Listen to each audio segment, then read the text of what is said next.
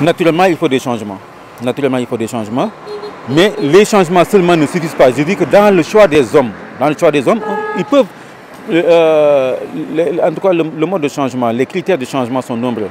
Il peut dire que celui-là a gagné, donc je mets les hommes, euh, je choisis les hommes dans les contrées où nous avons gagné. Donc ça veut dire que même s'il y a des hommes de valeur dans des contrées où il a eu à perdre, on ne va pas les prendre.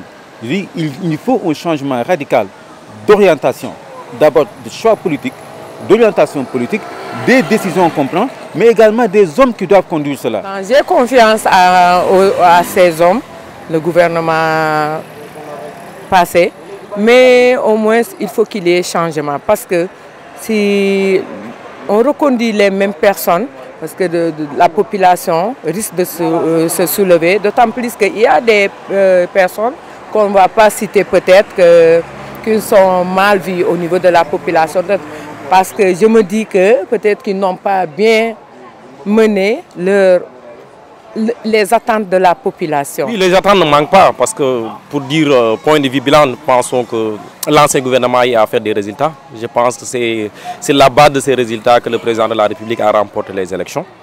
Donc nous pensons qu'il y a certains qui sont là-bas qui mériteraient en tout cas d'être reconduits. Et d'autant plus que le président de la République aussi a lancé un appel à l'endroit de la jeunesse. Nous attendons de lui également qu'il implique la jeunesse euh, euh, dans ce nouveau gouvernement. Surtout notre attente en tant que jeunes, c'est l'implication en tout cas des jeunes.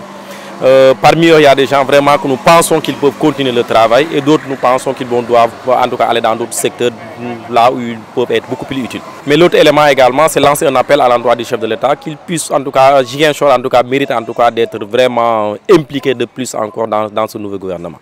Parce que l'ancien gouvernement, quoi que l'on dise, au niveau du, département de Ziguinchor, on n'a eu qu'un seul ministre.